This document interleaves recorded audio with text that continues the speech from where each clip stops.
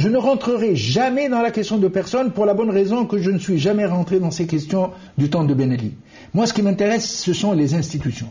Et c'est pour ça que pendant les 20 ans que j'ai attaqué le système Ben Ali, j'ai dit que nous avons besoin d'un État de droit et d'un État qui est fondé sur des institutions représentatives.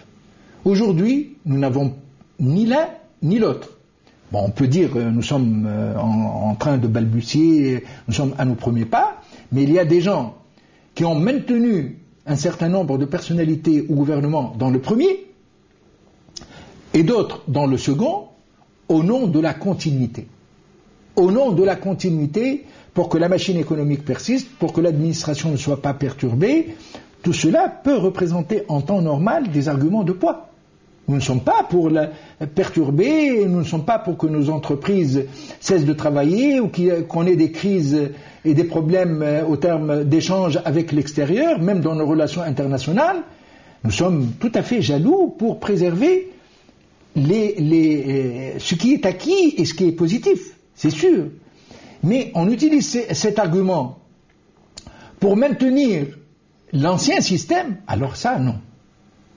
Or, nous avons maintenant, euh, objectivement, des euh, reliquats, et même plus que des reliquats de cet ancien système. Je vous dis, même au niveau de la méthode, au niveau de la méthode, nous avons, nous sommes sortis du premier gouvernement, nous l'avons quitté parce que, euh, à l'écoute du pays et de la révolution, des gens qui se sont sacrifiés pour qu'ils ne soient pas morts pour rien, nous, avons, nous avons été à cette écoute, et cette écoute, c'est le gouvernement, le premier gouvernement a été perçu comme un gouvernement RCD maquillé par quelques personnalités indépendantes ou opposantes.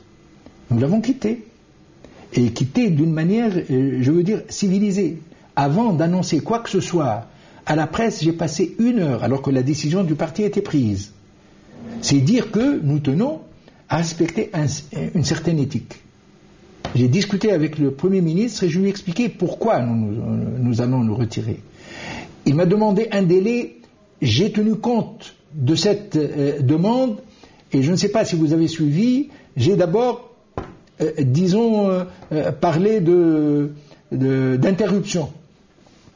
alors qu'en fait, la décision de, nous retirer était déjà prise et communiquée au gouvernement j'ai dit que nous, avons, nous marquons une interruption de notre participation. Évidemment, je n'ai pas prêté serment et je n'ai jamais pris mes fonctions de ministre de la Santé. Et dans un deuxième temps, nous nous sommes retirés avec un communiqué. Donc, le deuxième gouvernement devait être l'objet d'une concertation avec le GTT, qui a quand même joué un rôle, qu'on le veut ou non. Elle a ses contradictions internes, euh, ses problèmes entre la direction qui a plus ou moins fricoté avec l'ancien régime et la base syndicale qui veut plus de liberté. Tout cela est vrai pour l'UGTT. Et ce n'est pas nous qui allons résoudre le problème de l'UGTT. C'est des problèmes internes qui, je l'espère, seront résolus dans un débat démocratique et dans un congrès démocratique.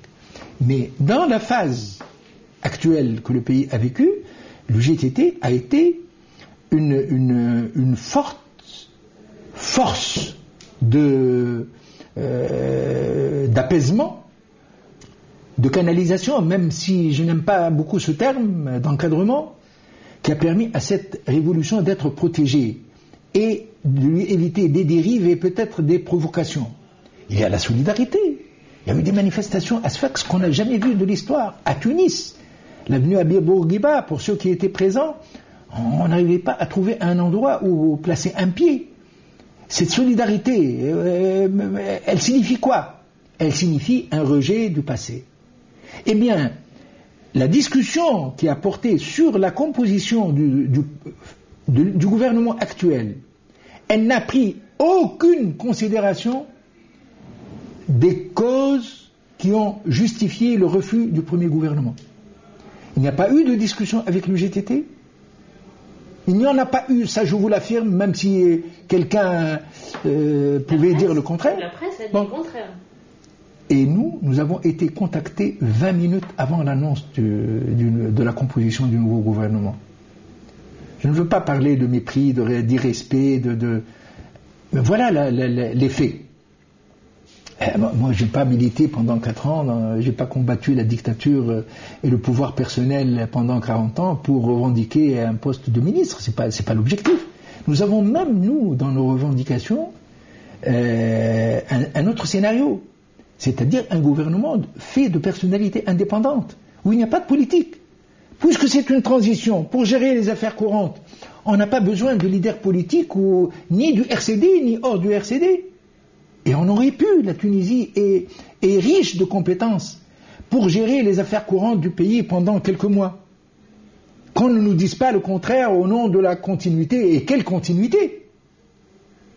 Et à côté, il fallait une structure politique, elle, où tout le monde est représenté, en tout cas tous ceux qui ont lutté pour, pendant euh, ces 20 dernières années, pour que cela change, et qui ait la responsabilité de piloter cette transition pour avoir le maximum de garanties, qu'il n'y ait pas un parti qui domine euh, les autres, et qu'on établisse des règles du jeu qui respectent euh, ce pluralisme et euh, l'égalité des chances.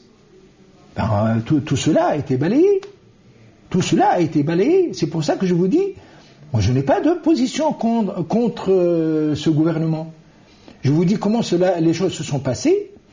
Elles ne sont pas de nature à rassurer et à cultiver en tout cas la confiance et ne, nous permettent pas, et je pense à de larges franges de la population, à retrouver la confiance perdue dans l'ancien système. Maintenant, pour juger les actes, je vous dis les actes. Les médias reviennent, la chaîne nationale, elle est pratiquement gérée aujourd'hui comme elle l'était. On a changé les visages, mais la méthode est la même. Pourquoi nous sommes exclus Nous sommes punis aujourd'hui, comme Ben Ali nous punissait. Parce que nous sommes un parti qui n'est pas dans le sillage du pouvoir, on a concocté une loi pour ne donner le financement qu'à ceux qui sont dans le sillage du pouvoir, c'est-à-dire qui rentrent au Parlement. Et qui fait rentrer au Parlement ou euh, en fait sortir C'est le pouvoir, c'est des gens désignés qui sont au Parlement. Vous voyez, nous sommes toujours dans une logique qui rappelle dangereusement le, passé. Et, c'est sur des faits concrets qu'on pourra juger qu'on a vraiment pris le virage et qu'on a réellement rompu avec ce passé que la population, que le peuple tunisien et sa jeunesse particulièrement ont rejeté de la manière la plus catégorique et la plus nette. Nous avons des gens qui ont assisté au débat de la commission administrative la commission administrative de l'UGTT a, décidé ceci. Elle a décidé de donner son accord et son soutien à un gouvernement qui aurait été dépouillé des euh, personnalités RCD avec la conservation du trio Ganouchi, euh, euh, Shelby et Juini. Ça a été fait dans le communiqué.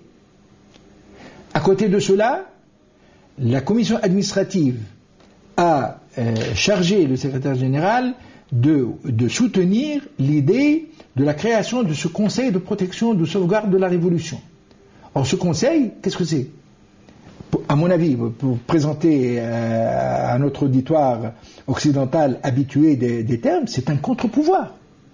Aujourd'hui, nous avons un gouvernement sans absolument aucun contre-pouvoir. Et c'est lui on le voit dans les déclarations de certains ministres particulièrement excités, qui va préparer les élections. Ah bon? De quel droit?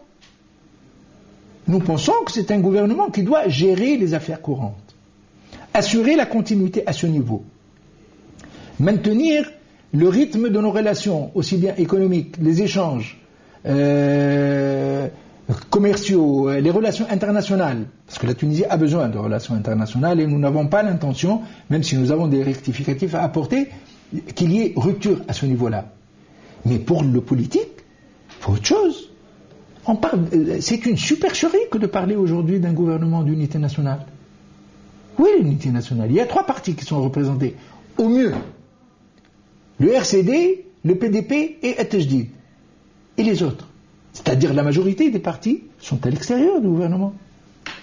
C'est pour ça qu'on dit il faut absolument que cette structure, en même temps contre-pouvoir, contrôle, mais aussi pilotage de cette période, sur le plan politique strict, soit euh, l'émanation de toutes les sensibilités, de tous les partis politiques, des ONG même, les composants de la société civile.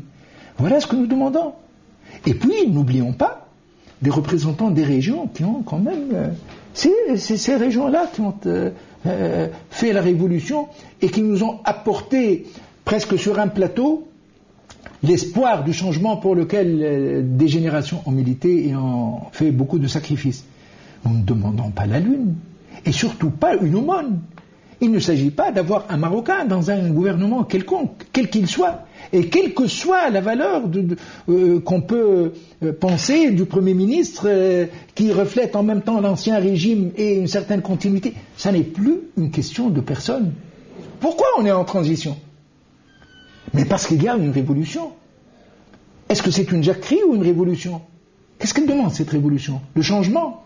Nous, le, seul rôle que nous puissions aujourd'hui jouer, c'est un rôle d'intermédiation entre cette révolution que nous sommes décidés à respecter et des gens qui ont quand même encore les commandes et de l'administration et de la police et, de tout et de tout et de tout et de tout.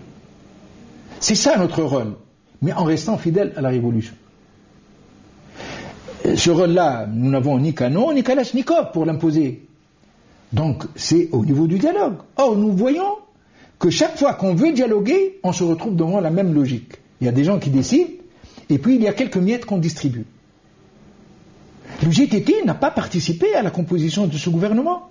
Et il était question qu'on aille en délégation, le GTT, moi-même et le bâtonnier, pour voir le Premier ministre, pour voir un peu la composition de tout le gouvernement. Pas pour euh, faire notre gouvernement, mais pour au moins éviter les pièges, éviter certaines personnalités, revenir un peu à la charge pour euh, la distribution, mais surtout euh, revendiquer l'idée d'un conseil représentatif des forces politiques qui puisse jouer le rôle de contre-pouvoir et piloter cette transition. Ben, nous avons trouvé porte fermée, qui, pire que cela, un coup de fil un quart d'heure avant pour proposer euh, un portefeuille euh, à un leader politique, je, trouve cela réellement inquiétant, à côté de l'irrespect. Je trouve c'est inquiétant dans la démarche, encore une fois. C'est ça qui nous intéresse. Comment voulez-vous que la confiance soit retrouvée? Cela ne me pousse pas à jeter le bébé avec l'eau du bain. Je ne dis pas que ce gouvernement est horrible. Je dis qu'il y a quand même eu un sacré nettoyage. Mais je m'inquiète sur le pilotage de ce gouvernement, qui n'est pas uniquement hein, le pilotage apparent. Ce qui nous importe aujourd'hui, c'est l'avenir. Et l'avenir, euh, pour rectifier ce tir, il faut absolument qu'il y ait un contre-pouvoir.